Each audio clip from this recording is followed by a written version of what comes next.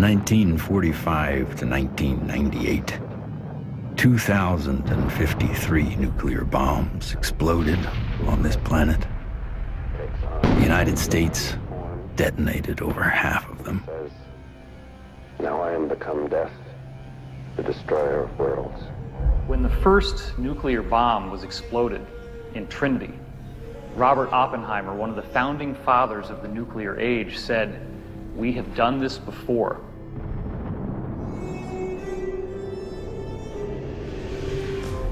It could have been that Oppenheimer was speaking about weapons described in the ancient Sanskrit texts like the Mahabharata. In which they refer to a bolt of iron charged with the light of a thousand suns. This bolt of iron was hurled in anger and led to an explosive event which is very graphically described in this religious scripture specifically showing all the key indications of radiation sickness and the various problems with nuclear weaponry that we've come to expect. When we started detonating thermonuclear weapons, atomic weapons, and developing these sort of destructive technologies, the civilizations that have been watching this planet for millennia said, oh my God, these people are going way off the reservation. They are now an existential threat to themselves, but also to other planets potentially. All over the world, we see very conclusive evidence that ancient people were in contact with extraterrestrial life.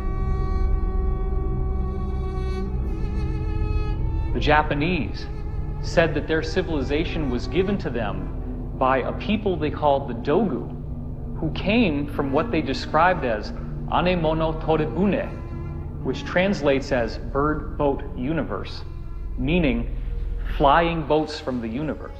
The ancient Sanskrit writings of India have elaborate descriptions of vimanas or flying craft. These texts are thousands of years old. They predate any conception that we have of spacecraft or aircraft. But evidence is not just found in ancient texts. It is also captured in our ancestors' art, as if it was plainly obvious that ET vehicles appeared in ancient skies.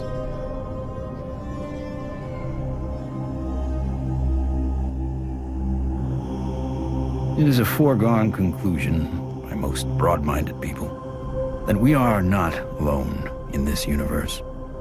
The question is, how close are they? And we all looked up at once. It was almost like an intelligence told us, hey, look over here, we're here.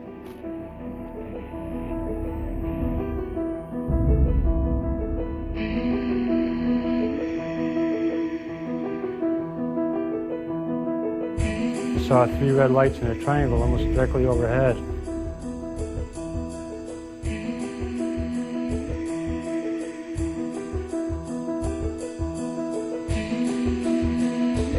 I saw these things and I ran inside and got my brothers and sisters. It actually lifted up and it could actually turn. I'm gonna ask you to look away. I wasn't one who believed that UFOs might exist. I was satisfied they exist. The life I have isn't what I'd seen. They estimated 100 yards from the left wing was this 100-foot disc.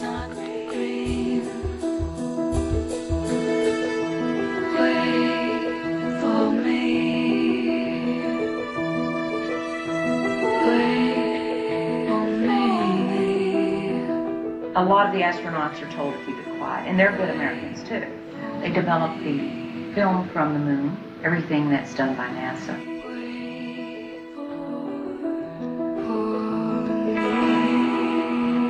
Ma che se ne sanno ancora degli altri superiori. Eh? No!